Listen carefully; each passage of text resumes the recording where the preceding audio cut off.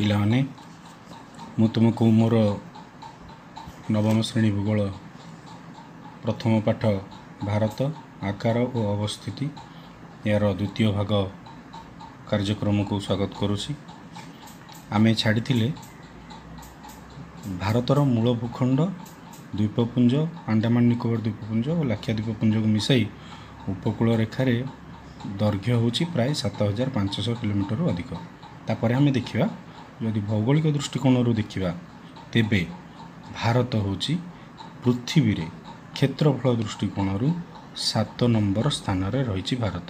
ପ୍ରଥମେ ରହିଛି କିଏ? ସବୁଠାରୁ ବଡ଼ ହେଲା ରୁଷିଆ ଦ୍ୱିତୀୟରେ ରହିଛି କାନାଡ଼ା ତୃତୀୟରେ ଯୁକ୍ତରାଷ୍ଟ୍ର ଆମେରିକା ଚତୁର୍ଥରେ ଚୀନ ପଞ୍ଚମରେ ବ୍ରାଜିଲ ଷଷ୍ଠରେ ଅଷ୍ଟ୍ରେଲିଆ ଏବଂ ସପ୍ତମରେ ରହିଛି ଭାରତ। ତେଣୁ କ୍ଷେତ୍ରଫଳ ଦୃଷ୍ଟିକୋଣରୁ ବଡ଼ ଆକାରରେ ବଡ଼ରୁ ସାନ କ୍ରମରେ ଏଠି ଆମକୁ ଚିଠା ଦିଆଯାଇଛି। ତେଣୁ ଆମର ଭାରତର ପୃଥିବୀର ସପ୍ତମ ବୃହତ୍ତମ ଦେଶ ହେଉଛି ଭାରତ। ଯଦି ଆମେ ଦେଖିବା କ୍ଷେତ୍ରଫଳ ଏଠି ଆମକୁ ଦିଆଯାଇଛି ବର୍ଗ ନିୟୁତ କିଲୋମିଟର ଆକାର ମାପରେ ଦିଆହେଇଛି ଏକକରେ ଦିଆହେଇଛି। ତେବେ ରୁଷିଆର କ୍ଷେତ୍ରଫଳ ହେଉଛି ସତର ଦଶମିକ ସାତ ନିୟୁତ ବର୍ଗ ନିୟୁତ କିଲୋମିଟର। କାନାଡ଼ାର ହେଉଛି ନଅ ଦଶମିକ ନଅ ସାତ ବର୍ଗ ନିୟୁତ କିଲୋମିଟର। ଯୁକ୍ତରାଷ୍ଟ୍ର ଆମେରିକାର ହେଉଛି ନଅ ଦଶମିକ ଆଠ ଶୂନ ବର୍ଗ ନିୟୁତ କିଲୋମିଟର। ଚୀନର ହେଲା ନଅ ଦଶମିକ ପାଞ୍ଚ ଛଅ ପାଞ୍ଚ ନଅ ବର୍ଗ ନିୟୁତ କିଲୋମିଟର। ବ୍ରାଜିଲର ହେଲା ଆଠ ଦଶମିକ ପାଞ୍ଚ ଚାରି ବର୍ଗ ନିୟୁତ କିଲୋମିଟର। ଅଷ୍ଟ୍ରେଲିଆର ସାତ ଦଶମିକ ଛଅ ଆଠ ବର୍ଗ ନିୟୁତ କିଲୋମିଟର ଏବଂ ଭାରତର ତିନି ଦଶମିକ ଦୁଇ ଆଠ ବର୍ଗ ନିୟୁତ କିଲୋମିଟର। ଆଉ ଯଦି ଆମେ ଭାରତର ଦେଖିବା ସମଗ୍ର ଭାରତ ଯେଉଁଟା ଆମେ କହିବା ବୁଝିବା ଆମେ ଟିକେ ଏଇଠି ଯେ ଭାରତର ମୂଳ ଭୂଖଣ୍ଡ ଗୋଟିଏ ଯେଉଁଟାକୁ ମୁଁ ତୁମକୁ କାଲି ସେ ପୂର୍ବ ଭିଡ଼ିଓରେ କହିଥିଲି ଯେ ମୂଳ ଭୂଖଣ୍ଡ ମୂଳ ଭୂଖଣ୍ଡ କହିଲେ ଆମେ ଏଇ ଯେଉଁ ଦେଖୁଛେ ପୂର୍ଣ୍ଣ ଭାରତ ଯେଉଁଟା ଆମେ ଦେଖୁଛେ ଏଇଟାକୁ ଆମର କୁହାଯାଏ ମୂଳ ଭୂଖଣ୍ଡ ମୂଳ ଭୂଖଣ୍ଡ ସହିତ ଲାକ୍ଷାଦ୍ୱୀପ ଏବଂ ଆଣ୍ଡାମାନ ନିକୋବର ଦ୍ୱୀପପୁଞ୍ଜ ମିଶିଗଲେ ଆକୁ ଆମେ ସମଗ୍ର ଭାରତ ବୋଲି କହିବା। ତେବେ ସମଗ୍ର ଭାରତର ଦକ୍ଷିଣତମ ସ୍ଥାନର ନାଁ ହେଉଛି ଇନ୍ଦିରା ପଏଣ୍ଟ। ସମ୍ପୂର୍ଣ୍ଣ ଦକ୍ଷିଣତମ ସ୍ଥାନ ନାଁ ହେଉଛି ଇନ୍ଦିରା ପଏଣ୍ଟ ଯେଉଁଟାକି ଆମର ଆଣ୍ଡାମାନ ଆଉ ନିକୋବର ଦ୍ୱୀପପୁଞ୍ଜରେ ଅବସ୍ଥିତ। ଏଇଠି ଯଦି ଆମେ ଦେଖିବା ଏହି ଚିତ୍ରଟିରେ ଆମେ ଦେଖିବା ମାନଚିତ୍ରରେ ଦେଖିବା ଏଇଠି ତୁମକୁ କୁହାଯାଇଥିଲା ଯେ ଭାରତର ମୂଳ ଭୂଖଣ୍ଡ ଆରମ୍ଭ ହୋଇଛି କେଉଁଠୁ ନା ଆଠ ଦଶମିକ ଚାରି ଉତ୍ତର ସମାକ୍ଷ ରେଖାରୁ ଆରମ୍ଭ ହୋଇଛି କିନ୍ତୁ ଯଦି ଆମେ ଏଇ ସିଧାରେ ଦେଖିବା ତେବେ ଆଣ୍ଡାମାନ ନିକୋବର ଦ୍ୱୀପପୁଞ୍ଜ ଏହାର ଯଥେଷ୍ଟ ତଳକୁ ମଧ୍ୟ ରହିଛି ତେଣୁ ଆମକୁ କୁହାଯାଇଥିଲା ଭାରତୀୟ ମୂଳ ଭୂଖଣ୍ଡ ଆଠ ଡିଗ୍ରୀ ଚାରି ମିନିଟରୁ ଆରମ୍ଭ ସେଥିପାଇଁ ଯଦି ଆମେ ଦେଖିବା ଯେ ମୂଳ ଭୂଖଣ୍ଡର ଦକ୍ଷିଣତମ ସ୍ଥାନ କେଉଁଟା ତାହେଲେ ସେଇଟା ହେଉଛି ଆମର କିଏ ନା କନ୍ୟାକୁମାରୀ। ସେଇଟା ହେଉଛି ଆମର କନ୍ୟାକୁମାରୀ। କିନ୍ତୁ ସମଗ୍ର ଭାରତର ଯଦି ମୂଳ ସମଗ୍ର ଭାରତର ଯଦି ଦକ୍ଷିଣତମ ସ୍ଥାନ କହିବା ସିଏ ହେଉଛି ଇନ୍ଦିରା ପଏଣ୍ଟ। ଏଇଠି ଆମକୁ ଦୁଇଟା ଜିନିଷ ମନେ ରଖିବାକୁ ପଡ଼ିବ। ଯେତେବେଳେ ପ୍ରଶ୍ନ ଆସିବ ଭାରତର ଦକ୍ଷିଣତମ ସ୍ଥାନର ନାମ କ'ଣ? ଆମେ ଲେଖିବା ଇନ୍ଦିରା ପଏଣ୍ଟ। କିନ୍ତୁ ଆମକୁ ଯଦି ପ୍ରଶ୍ନ ଆସିବ ଭାରତୀୟ ମୂଳ ଭୂଖଣ୍ଡର ଦକ୍ଷିଣତମ ସ୍ଥାନ କେଉଁଟା? ତାକୁ ଆମେ ଲେଖିବା କନ୍ୟାକୁମାରୀ। ଭାରତର ଦକ୍ଷିଣତମ ସ୍ଥାନ ଇନ୍ଦିରା ପଏଣ୍ଟ ଦୁଇହଜାର ଚାରି ମସିହାରେ ଆସିଥିବା ସୁନାମି ଦ୍ୱାରା ସମ୍ପୂର୍ଣ୍ଣ ଭାବରେ ସମୁଦ୍ର ଗର୍ଭରେ ଲୀନ ହୋଇଯାଇଥିଲା। ଏଇ ଯେଉଁ ଜାଗା ଆମର ଇନ୍ଦିରା ପଏଣ୍ଟ ରହିଛି ଏଠି। ଏଇ ଇନ୍ଦିରା ପଏଣ୍ଟ ଯେତେବେଳେ ଦୁଇହଜାର ଚାରି ମସିହାରେ ସୁନାମି ଆସିଥିଲା ସେତେବେଳେ ଆମର ଭାରତୀୟ ଏଇ ଉପକୂଳ ଆମର ପୂର୍ବ ଉପକୂଳ ଯେଉଁଟା ତାମିଲନାଡ଼ୁ କେରଳର କିଛି ଅଂଶ ଆନ୍ଧ୍ରପ୍ରଦେଶର କିଛି ଅଂଶ ଇଏ ତ ଶ୍ରୀଲଙ୍କା ଏଠି ରହିଲା ଏମାନେ ମଧ୍ୟ ସୁନାମି ଦ୍ୱାରା ବ୍ୟାପୀ କିଛି ମାତ୍ରାରେ କ୍ଷୟକ୍ଷତିର ସମ୍ମୁଖୀନ ହୋଇଥିଲେ କିନ୍ତୁ ଏ ସମଗ୍ର ଇନ୍ଦିରା ପଏଣ୍ଟଟି ଜଳାବର୍ଣ୍ଣ ହୋଇଯାଇଥିଲା ଜଳରେ ବୁଡ଼ି ଯାଇଥିଲା ସମୁଦ୍ର ପାଣିରେ ମୂଳ ଭୂଖଣ୍ଡର ଦକ୍ଷିଣତମ ସ୍ଥାନ ହେଲା କନ୍ୟାକୁମାରୀ ତାମିଲନାଡ଼ୁ ରାଜ୍ୟରେ ଯାହାକି ଅବସ୍ଥିତ। ସେହିଭଳି ଉତ୍ତରତମ ସ୍ଥାନ ଅଛି କାରାକୋରମ ପର୍ବତ ଶ୍ରେଣୀରେ। ଉତ୍ତରତମ ସ୍ଥାନ ହେଉଛି ଆମର କାରାକୋରମ ପର୍ବତ ଶ୍ରେଣୀ। ଏଇ ଉପରେ ପୁରା ରହିଛି ଏଠି ତୁମେ ଦେଖିଲେ ଜାଣିପାରିବ ଏପଟ ଚିତ୍ରରେ ତୁମେ ଦେଖିଲେ ଜାଣିପାରିବ ଯେ ଏଇ ଯେଉଁ ଜାଗା ରହିଛି ଏଇ ଆଫଗାନିସ୍ତାନ ଆଫଗାନିସ୍ତାନ ଭାରତର ମଧ୍ୟ ପଡ଼ୋଶୀ ରାଷ୍ଟ୍ର ଆମେ ପଛରେ ପଢ଼ିବା ସେ ମଧ୍ୟ ଆମ ଭାରତକୁ କିଛି ମାତ୍ରାରେ ଛୁଇଁଛି। ଏହି ଜାଗାରେ ଆମର କାରାକୋରମ ପର୍ବତ ଶ୍ରେଣୀ ଏପଟକୁ ବ୍ୟାପି ରହିଛି। କାରାକୋରମ ପର୍ବତ ଶ୍ରେଣୀର ଏହି ସ୍ଥାନଟି ଅଛି ଭାରତର ଉତ୍ତରତମ ସ୍ଥାନ। ଯଦି ଆମେ ପୂର୍ବତମ ସ୍ଥାନ ଦେଖିବା ପୂର୍ବତମ ସ୍ଥାନ ହେଉଛି ଅରୁଣାଚଳ ପ୍ରଦେଶର ଏହି ସ୍ଥାନଟି ହେଉଛି ଆମର ପୂର୍ବତମ ସ୍ଥାନ। ଏହାର ନାଁ ହେଉଛି ଲଞ୍ଜୁ ପାହାଡ଼ ଆକୁ କୁହାଯାଏ। ଲଞ୍ଜୁ ପାହାଡ଼। ତାହେଲେ ପୁଣି ପଶ୍ଚିମ ପଟ ଯଦି ଆମେ ଦେଖିବା ଆମେ କହିବା ଏପଟରେ ହେଉଛି ପଶ୍ଚିମତମ ସ୍ଥାନ ହେଉଛି କଚ୍ଛ। କଚ୍ଛ। ତାହେଲେ ଆମକୁ ମନେ ରଖିବାକୁ ପଡ଼ିବ କ'ଣ? ନା ଭାରତୀୟ ମୂଳ ଭୂଖଣ୍ଡର ଦକ୍ଷିଣତମ ସ୍ଥାନ ହେଲା କନ୍ୟାକୁମାରୀ। ଭାରତୀୟ ମୂଳ ଭୂଖଣ୍ଡର ପୂର୍ବତମ ସ୍ଥାନ ହେଲା ଲଞ୍ଜୁ ପାହାଡ଼। ଭାରତୀୟ ମୂଳ ଭୂଖଣ୍ଡର ଉତ୍ତରତମ ସ୍ଥାନ ହେଲା କାରାକରମ ପର୍ବତର କୌଣସି ଗୋଟିଏ ଅଂଶ ଏବଂ ପଶ୍ଚିମତମ ସ୍ଥାନ ହେଲା କଚ୍ଛ ବା ର୍ୟାନ୍ ଅଫ୍ କଚ୍ଛ ତାକୁ କୁହାଯାଏ। ତାପରେ ଆମେ ଆସିବା ଏବେ ଗୋଟେ ନୂଆ ପାଠ ଭାରତ ଏବଂ ପୃଥିବୀ। ଭାରତ ଏବଂ ପୃଥିବୀ। ଦେଖିବା ଭାରତବର୍ଷ ପୂର୍ବ ଏସିଆ ଏବଂ ପଶ୍ଚିମ ଏସିଆର ପ୍ରାୟ ମଧ୍ୟଭାଗରେ ଅବସ୍ଥିତ ଦେଇଛି ଏଠି ମାନଚିତ୍ରକୁ ଦେଖ। ଆମେ ତମେ ଦେଖିପାରିବ ଏଠାରେ। କାଲି ଆମେ ଯେଉଁ ମାନଚିତ୍ର ଦେଖୁଥିଲେ ସେଥିରେ ଦେଖ ହେଇ ଏଇଟା ଯେତେକ ଗ୍ରୀନ୍ ଏରିଆ ରହିଲା ଇଏ ହେଉଛି ଆମର ଏସିଆ ମହାଦେଶ। ତେଣୁ ଏସିଆ ମହାଦେଶର ଏପଟରେ ଏସିଆ ରହିଛି ଏପଟରେ ଏସିଆ ରହିଛି ଠିକ୍ ମଧ୍ୟଭାଗରେ ହେଉଛି ଭାରତ ଅବସ୍ଥିତ। ସେଇ କଥା ଏଠି ଆମର ଲେଖା ହେଇଛି ଭାରତବର୍ଷ ପୂର୍ବ ଏସିଆ ଏବଂ ପଶ୍ଚିମ ଏସିଆ। ଏଇପଟଟା ଯଦି ଦେଖିବା ଆମେ ଏଇଟାକୁ କହିବା ଏଠି ଲେଖା ହେଇଛି ପୂର୍ବ ପଟ ଏଠି ପୂର୍ବ ଏସିଆ ଏପଟ ଏପଟ ପଶ୍ଚିମ ଏସିଆ।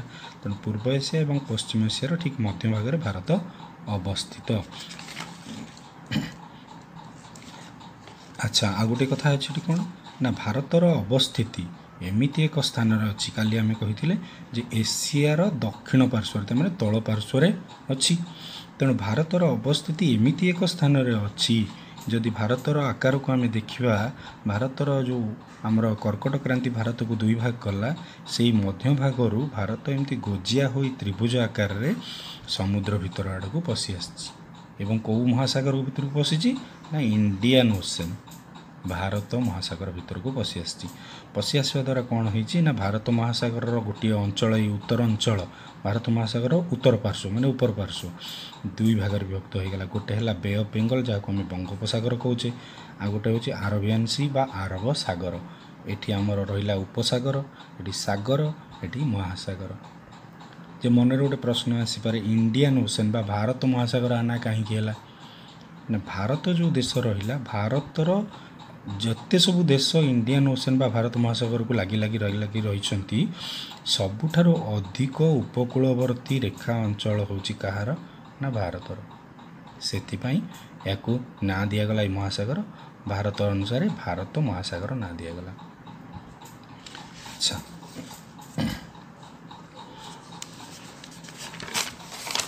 ଯେହେତୁ ଭାରତ ଆମେ ଲକ୍ଷ୍ୟ କରିବା ଭାରତର ମାନଚିତ୍ରକୁ ଯେ ଯେହେତୁ ଭାରତର ଉପର ପାର୍ଶ୍ୱ ବା ଉତ୍ତର ପାର୍ଶ୍ୱରେ କ'ଣ ଅଛି ନା ସ୍ଥଳଭାଗ ଏପଟେ ପାକିସ୍ତାନ ନେପାଳ ଚାଇନା ବାଂଲାଦେଶ ଏମିତି ସବୁ ମିଆଁମାର ଲାଗି ରହିଛନ୍ତି। ଉତ୍ତର ପାର୍ଶ୍ୱ ପୂର୍ବ ପାର୍ଶ୍ୱରେ ସବୁ ଲାଗି ରହିଛନ୍ତି। କିନ୍ତୁ ତଳଭାଗକୁ ଯଦି ଆସିବା ପଶ୍ଚିମ ପାର୍ଶ୍ୱରେ ପୂର୍ବ ପାର୍ଶ୍ୱରେ ଦକ୍ଷିଣ ପାର୍ଶ୍ୱରେ କେବଳ ଜଳଭାଗ ହିଁ ଜଳଭାଗ ଜଳଭାଗ ହିଁ ଜଳଭାଗ।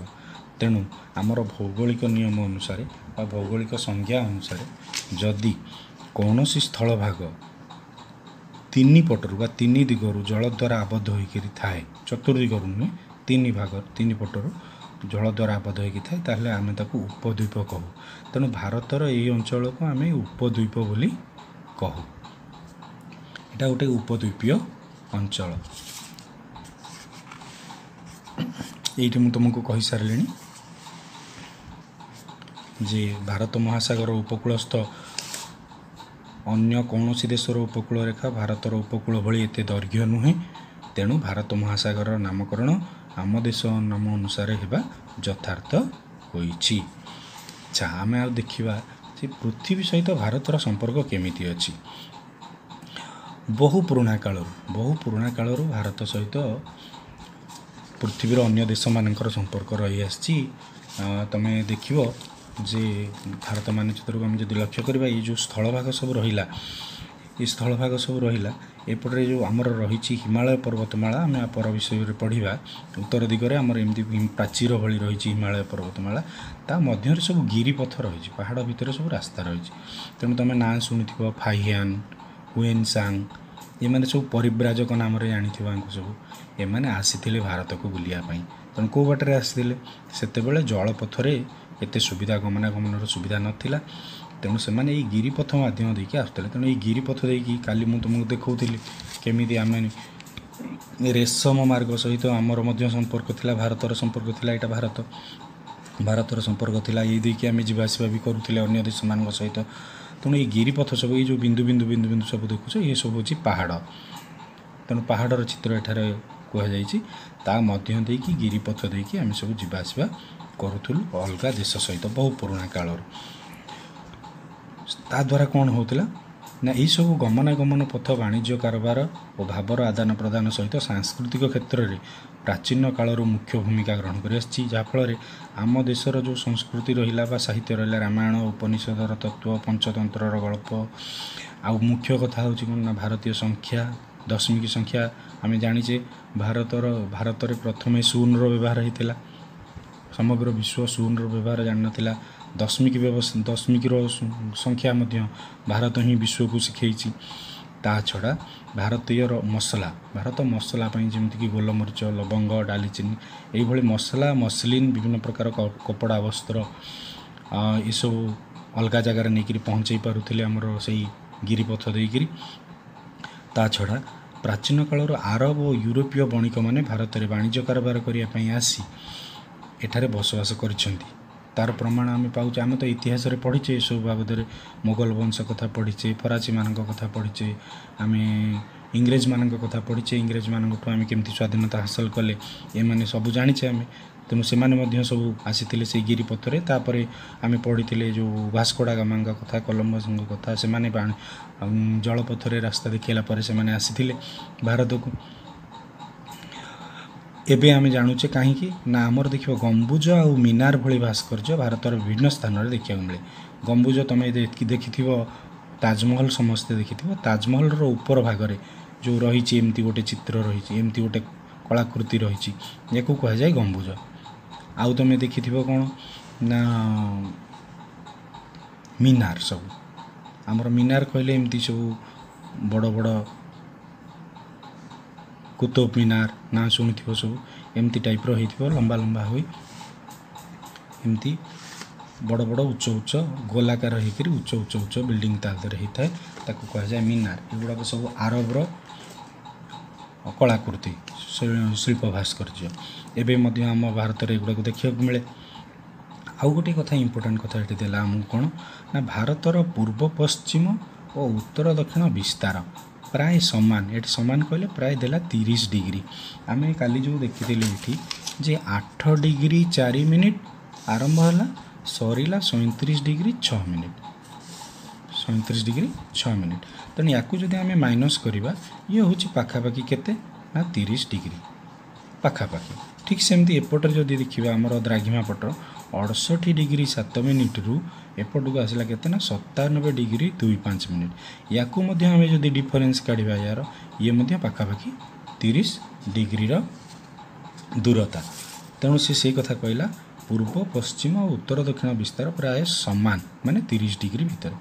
ଏହି ଦୂରତ୍ୱକୁ କିଲୋମିଟରରେ ଯଦି ଆମେ ପ୍ରକାଶ କରିବା ଏହି ଦୂରତାକୁ ଆମେ ଯଦି କିଲୋମିଟର ଆକାରରେ ଦେଖିବା ତାହେଲେ ଉତ୍ତର ଦକ୍ଷିଣ ଦକ୍ଷିଣ ଦକ୍ଷିଣ ଉତ୍ତର ଏହାର ଦୂରତା ହେଉଛି ଆମର ଏଠି ଦେଇଛି କେତେ ତିନି ହଜାର ଦୁଇଶହ ଚଉଦ କିଲୋମିଟର ତିନି ହଜାର ଦୁଇଶହ ଚଉଦ କିଲୋମିଟର ଠିକ୍ ସେମିତି ଆମେ ଯଦି ପଶ୍ଚିମ ପୂର୍ବ ବା ପୂର୍ବ ପଶ୍ଚିମର ଦୂରତା ଦେଖିବା ଇଏ ହେଉଛି କେତେ ଦୁଇ ହଜାର ନଅଶହ ତେତିଶ କିଲୋମିଟର ଦୁଇ ହଜାର ନଅଶହ ତେତିଶ କିଲୋମିଟର ତେଣୁ ଇଏ ଦୁଇଟାକ ଯଦି ଆମେ ଆଭରେଜ୍ ଧରିବା ତାହେଲେ ଇଏ ପୂର୍ବ ପଶ୍ଚିମର ଦୂରତା ଉତ୍ତର ଦକ୍ଷିଣର ଦୂରତା ଇଏ ପ୍ରାୟ ହେଉଛି ଆମର ତିନି ହଜାର କିଲୋମିଟର ଆଭରେଜରେ ଧରିଲେ ତେଣୁ ଏଠି ଦେଇଛି ଆମର ପାଖାପାଖି ହେଉଛି ତିନି ହଜାର କିଲୋମିଟରର ଦୂରତା। କାଲି ମୁଁ ତୁମକୁ କହିଥିଲି ଦ୍ରାଘିମା କଥା କହିଥିଲି ଅକ୍ଷାଂଶ କଥା କହିଥିଲି। ଯଦି ତୁମର ମନେ ଥିବ ତାହେଲେ ଏଇଟା ଯଦି ଆମେ ଧରିବା ଆମର ଭୂଗୋଲକ ତାହେଲେ ଏଇଟା ହେଉଛି ଉତ୍ତର ଗୋଲାର୍ଦ୍ଧ ଏଇଟା ହେଲା ଦକ୍ଷିଣ ଗୋଲାର୍ଦ୍ଧ। ଏଇଠାରୁ ଏମିତି ସବୁଗୁଡ଼ାକ ଗୋଟିଏ ପଏଣ୍ଟରୁ ଯାଇକି ସେଇ ଗୋଟିଏ ପଏଣ୍ଟରେ ମିଶେ ସବୁଗୁଡ଼ାକ ସବୁଗୁଡ଼ାକ। ୟାକୁ ଆମେ କହୁ କ'ଣ ନା ଦ୍ରାଘିମା ରେଖା ଇଏ ହେଲା ଦ୍ରାଘିମା ରେଖା କିନ୍ତୁ ଅକ୍ଷାଂଶ କହିଲେ ସବୁଗୁଡ଼ାକ ହେଉଛନ୍ତି ସମାନ୍ତର। ଇଏ କିଏ କାହା ସହିତ ମିଳିବେ ନାହିଁ। ଏବଂ ଆଉ ଗୋଟେ ଇମ୍ପୋର୍ଟାଣ୍ଟ କଥା ହେଉଛି କ'ଣ ମନେ ରଖିବା ଆମେ? ନା ହେଉଛି କାଳ୍ପନିକ ରେଖା ସବୁ। ଏମିତି କିଛି ନାହିଁ ଯେ ପୃଥିବୀରେ ପଡ଼ିଛି। ଏମିତି ଗାର ଦିଆହେଇଛି ରଙ୍ଗ ଦିଆହେଇକି ନା। ଏଗୁଡ଼ାକ ସବୁ କାଳ୍ପନିକ ଆମର ରେଖା। ଭାରତ ସମସ୍ତ ଏଠି ଦେଖିବା ସମସ୍ତ ଦ୍ରାଘିମା ରେଖା ମେରୁଠାରେ ମିଳିତ ହୁଅନ୍ତି ଏବଂ ବିଷୁବ ରେଖାଠାରୁ ମେରି ମେରୁ ଆଡ଼କୁ ଦ୍ରାଘିମା ରେଖା ଗୁଡ଼ିକ ମଧ୍ୟରେ ବ୍ୟବଧାନ କ୍ରମଶଃ ହ୍ରାସ ପାଇ ମେରୁଠାରେ ଶୂନ୍ୟଯାଏ ଦେଖ ଏଇଠି ହେଲା ବିଷୁବ ରେଖା ଯଦି ଆମେ ମଝିଟାକୁ ଧରିବା ଏଇଠି ହେଉଛି ତାଙ୍କ ଭିତରେ ପାର୍ଥକ୍ୟ ସବୁଠୁ ଅଧିକା। କିନ୍ତୁ ଯେତେ ଯେତେ ଯେତେ ଯେତେ ଉପରକୁ ଯାଉଛନ୍ତି ବା ଯେତେ ଯେତେ ଯେତେ ତଳକୁ ଯାଉଛନ୍ତି ମେରୁ ଆଡ଼କୁ ସେମାନଙ୍କ ଭିତରେ କ୍ରମଶଃ ଦୂରତା କମି କମି ସେମାନେ ଯୋଡ଼ି ହୋଇଯାଇଛନ୍ତି ଗୋଟିଏ ପଏଣ୍ଟରେ ଯାଇ ମିଶୁଛନ୍ତି। ଭାରତର ତିରିଶ ଡିଗ୍ରୀ ପୂର୍ବ ପଶ୍ଚିମ ଦ୍ରାଘିମା ରେଖୀୟ ବିସ୍ତାର ଯୋଗୁଁ ପୂର୍ବସ୍ଥ ଓ ପଶ୍ଚିମସ୍ଥ ସୀମା ଭିତରେ ଥିବା ଦୁଇଟି ସ୍ଥାନ ମଧ୍ୟରେ ସ୍ଥାନୀୟ ସମୟର ବ୍ୟବଧାନ ହେଉଛି ଦୁଇ ଘଣ୍ଟା। ସ୍ଥାନୀୟ ସମୟ ମଧ୍ୟରେ ଦୂରତା ହେଉଛି ଦୁଇ ଘଣ୍ଟା। ତେଣୁ ଆମେ ଯଦି ଦେଖିବା ଭାରତର ଦ୍ରାଘିମା ରେଖା କହିଲେ ଏମିତି ସିଧା ସିଧା ଗାର ଆସିବ। ତେଣୁ ୟା ଭିତରେ ଆମେ ଯଦି ଦେଖିବା ପଶ୍ଚିମ ପଟ ଏବଂ ପୂର୍ବ ପଟ ଭିତରେ ଯଦି ଦୂରତା ଆମେ ଦେଖିବା ସମୟର ଦୂରତା ଦୁଇ ଘଣ୍ଟା। ତା ଅର୍ଥ ଏଠାରେ ଯଦି ସୂର୍ଯ୍ୟ ଯେତେବେଳେ ଉଦୟ ହୋଇଥାନ୍ତି ସେ ସେତେବେଳେ ଏଠି ଅନ୍ଧାର ଥାଏ। ଏଠି ଯେତେବେଳେ ସୂର୍ଯ୍ୟ ଆସି କିରଣ ପଡ଼େ ଉଦୟ କିରଣ ପଡ଼େ ସେତେବେଳକୁ ଏଠି ଏମାନେ କର୍ମଚଞ୍ଚଳ ହୋଇସାରିଥାନ୍ତି। ତେଣୁ ଦୁଇ ଘଣ୍ଟାର ପାର୍ଥକ୍ୟ ଆମର ରହେ। ଏଥିପାଇଁ ଅରୁଣାଚଳ ପ୍ରଦେଶର ପୂର୍ବତମ ସ୍ଥାନରେ ସୂର୍ଯ୍ୟୋଦୟ ବା ସୂର୍ଯ୍ୟାସ୍ତ ହେବାର ଦୁଇ ଘଣ୍ଟା ପରେ ଦ୍ୱାରକାରେ ଦ୍ୱାରକା କହିଲେ ଆମର ଗୁଜୁରାଟରେ ଅବସ୍ଥିତ ଦ୍ୱାରକା ଦ୍ୱାରକାରେ କ'ଣ ହୁଏ? ନା ଯଥାକ୍ରମେ ସୂର୍ଯ୍ୟୋଦୟ ବା ସୂର୍ଯ୍ୟାସ୍ତ ସେମିତି ଦୁଇ ଘଣ୍ଟା ପରେ ହୋଇଥାଏ। ଏମିତି କାହିଁକି ହେଇଥାଏ? ମୁଁ ତୁମକୁ କହିଲି ଯେହେତୁ ଦ୍ରାଘିମାଗତ ଦୂରତା ରହୁଛି ଆମର ପାର୍ଥକ୍ୟ ରହୁଛି। ଏହି ପରିପ୍ରେକ୍ଷୀରେ ଭାରତର ପୂର୍ବତମ ରାଜ୍ୟ ଅରୁଣାଚଳ ପ୍ରଦେଶର ନାମକରଣ ତୁମ ମତରେ ଯଥାର୍ଥ ହୋଇନାହିଁ କି? ଅରୁଣାଚଳ। ଅରୁଣ କାହାକୁ ଆମେ କୁହାଯାଏ? ସାହିତ୍ୟ କଥା ଯଦି କହିବା ସୂର୍ଯ୍ୟଙ୍କର ଅନ୍ୟ ନାମ ହେଉଛି ଅରୁଣ। ତେଣୁ ଅରୁଣାଚଳ ଏଇଠୁ ଅରୁଣାଚଳ ପ୍ରଦେଶ ହେଉଛି ଆମର ଏଇଠି ଜାଗାଟା। ଏଇଟା ହେଲା ଅରୁଣାଚଳ ପ୍ରଦେଶ। ତେଣୁ ସୂର୍ଯ୍ୟଙ୍କର ପ୍ରଥମ କିରଣ ଏଇ ଜାଗାରେ ପଡ଼େ। ଅରୁଣଙ୍କର ପ୍ରଥମ କିରଣ ଏଇଠୁ ଚଳନ ଆରମ୍ଭ ହୁଏ ଭାରତରେ। ସେଥିପାଇଁ ଏହାର ନାଁ ହେଲା ଅରୁଣାଚଳ ପ୍ରଦେଶ। ଦେଶର ବିଭିନ୍ନ ସ୍ଥାନରେ ସମୟ ସଂକ୍ରାନ୍ତୀୟ ଭିନ୍ନତାକୁ ଦୂର କରିବା ପାଇଁ ଯେ ଆମକୁ ଅସୁବିଧା ହେବ। ଯଦି ଏଠି ସକାଳ ଛଅଟା ବାଜିଲାଣି ଏଠି ଚାରିଟା। ତେଣୁ ଆମେ କେଉଁ ସମୟକୁ ଆମର ଭାରତର ସମୟ ବୋଲି ଧରିବା ଗୋଟେ ମାନକ ସମୟ ବୋଲି ଧରିବା ସେଥିପାଇଁ କ'ଣ କରାଗଲା? ନା ଆମର ଭାରତର ଠିକ୍ ମଧ୍ୟଭାଗ ଦେଇକରି ଆମର ଗୋଟିଏ ରେଖା ଦ୍ରାଘିମା ରେଖା କଳ୍ପନା କରାଗଲା। ତା ପାଇଁ ମଧ୍ୟ ମୁଁ ତୁମକୁ ଗୋଟେ ପ୍ରିଣ୍ଟ ଆଉଟ୍ ଦେଖାଉଛି ଦେଖ। ବୟାଅଶୀ ଡିଗ୍ରୀ ତିରିଶ ମିନିଟ୍ ପୂର୍ବ। ବୟାଅଶୀ ଡିଗ୍ରୀ ତିରିଶ ମିନିଟ୍ ପୂର୍ବ ଦ୍ରାଘିମା ରେଖା ଗୋଟିଏ ଭାରତ ମଧ୍ୟ ଦେଇ ଯେଉଁଠୁ କି ଭାରତର ପୂର୍ବ ପଟର ବିସ୍ତୃତି ଯେତିକି ଭାରତର ପଶ୍ଚିମ ପଟର ବିସ୍ତୃତି ସେତିକି। ଠିକ୍ ମଧ୍ୟଭାଗ ଦେଇକି ଗଲା ଯେଉଁଟାକି ଆମର ଉତ୍ତରପ୍ରଦେଶର ମିର୍ଜାପୁର ମଧ୍ୟ ଦେଇକରି ଯାଇଛି ଏବଂ ଆମର ଓଡ଼ିଶାର ପାଖାପାଖି ସେଇ ମାଲକାନଗିରି ଦେଇକି ମଧ୍ୟ ଏଇଟା ଯାଇଛି। ଯାହାଫଳରେ ଏହି ସ୍ଥାନରେ ଯେଉଁ ସମୟ ହୋଇଥିବ ସେହି ସମୟକୁ ସମଗ୍ର ଭାରତର ସମୟ ବୋଲିକି ଆମେ ଧରିବା। ତାକୁ ମିନ୍ ଟାଇମ୍ ବା ମଧ୍ୟମ ଦିନ ସମୟରେଖା ବୋଲି କୁହାଯାଏ। ଯେ ଏଇ ମଧ୍ୟ ମଝି ଜାଗାର ସମୟକୁ ଯେତେବେଳେ ଆମେ ଏଇଠି ଯେତେବେଳେ ଛଅଟା ହେଉଛି ମାନେ ଇଏ ବି ଛଅଟା ବୋଲି ଧରିବେ ଏମାନେ ବି ଛଅଟା ବୋଲି ଧରିବେ। ତାହେଲେ ସମଗ୍ର ଭାରତର ସମୟ ଏକ ପ୍ରକାର ରହିବ। ନହେଲେ ଏମାନେ ଯଦି ସୂର୍ଯ୍ୟ ଉଦୟ ଅନୁସାରେ କାମ କରୁଥିବେ ଏମାନେ ରାତିରେ ସେତେବେଳକୁ ଶୋଇଥିବେ ଭୋର ହୋଇଥିବ ତେଣୁ ଆମର ସମୟରେ ହିସାବ କରିବାରେ ଗଣ୍ଡଗୋଳିଆ ହେଇଯିବ। ଏହାକୁ ଭାରତର ପ୍ରମାଣ ମଧ୍ୟାହ୍ନ ରେଖା ମଧ୍ୟାହ୍ନ ରେଖା ବା ମଧ୍ୟାହ୍ନ ରେଖା ହିସାବରେ ମାନିଯାଇଛି ଏହାର ଉପରିସ୍ଥ ସ୍ଥାନୀୟ ସମୟକୁ ଭାରତୀୟ ପ୍ରମାଣ ସମୟ ବା ଇଣ୍ଡିଆନ୍ ଷ୍ଟାଣ୍ଡାର୍ଡସ୍ ଟାଇମ୍ ବେଳେବେଳେ ପଡ଼େ short form I S T କ'ଣ? Indian standard time. ଚିନ୍ତା କର। କ'ଣ ଦେଲା ଆମକୁ ଚିନ୍ତା କରିବା ପାଇଁ? ବୟାଅଶୀ ଡିଗ୍ରୀ ତିରିଶ ମିନିଟ୍ ପୂର୍ବ ଦ୍ରାଘିମା ରେଖାକୁ ଭାରତର ପ୍ରଧାନ ମଧ୍ୟାହ୍ନ ରେଖା ହିସାବରେ ବାଛିବାର କାରଣ କ'ଣ? ଯେଉଁଟାକି ମୁଁ ତୁମକୁ କହିଲି ଯେ ସେଇ ମଧ୍ୟାହ୍ନ ରେଖାଠାରୁ ଭାରତର ପୂର୍ବ ବିସ୍ତୃତି ଯେତିକି ପଶ୍ଚିମ ବିସ୍ତୃତି ସେତିକି ଏଇଟା ଠିକ୍ ମଝିରେ ରହିଲା। ସେଥିପାଇଁ ଏଇଟାକୁ ବଛାଗଲା ତାର ଉତ୍ତର ଆଉ ଗୋଟେ କଥା ପଚାରିଲା କନ୍ୟାକୁମାରୀ ଠାରେ ଦିନ ଓ ରାତିର ଅବଧିରେ ତାରତମ୍ୟ ପ୍ରାୟ ଅନୁଭବ ହେଉନଥିଲା ବେଳେ କାଶ୍ମୀରରେ କାହିଁକି ହୁଏ? ଏଇଟା ମଧ୍ୟ ଭାରି ସହଜ। ଦେଖ କନ୍ୟାକୁମାରୀ କନ୍ୟାକୁମାରୀ ହେଲା ଏହି ସ୍ଥାନରେ ଅବସ୍ଥିତ। ଏଠାରେ ବିସ୍ତୃତି କେତେ? ଖୁବ୍ କମ୍। ତେଣୁ ଏଠି ଦିନ ରାତି ଭିତରେ ଅବଧି ବା ପାର୍ଥକ୍ୟ ଆମକୁ ବେଶୀ ଜଣାପଡ଼େ ନାହିଁ। କିନ୍ତୁ ଜାମ୍ମୁ କାଶ୍ମୀର କଥା ଯଦି କହିବା ଏହାର କିଛି ମାତ୍ରାରେ ବିସ୍ତୃତି ଅଛି। ତେଣୁ ଦ୍ରାଘିମା ରେଖା ଯେଉଁ ଗଲା ଏପଟରେ ୟା ଭିତରେ ସମୟର ପାର୍ଥକ୍ୟ ରହିବ? ତେଣୁ ଆମକୁ ଦିନ ରାତି ଅବଧି ଭିତରେ ଆମକୁ ପାର୍ଥକ୍ୟ ଜଣାପଡ଼ିବ ଆଉ କ'ଣ?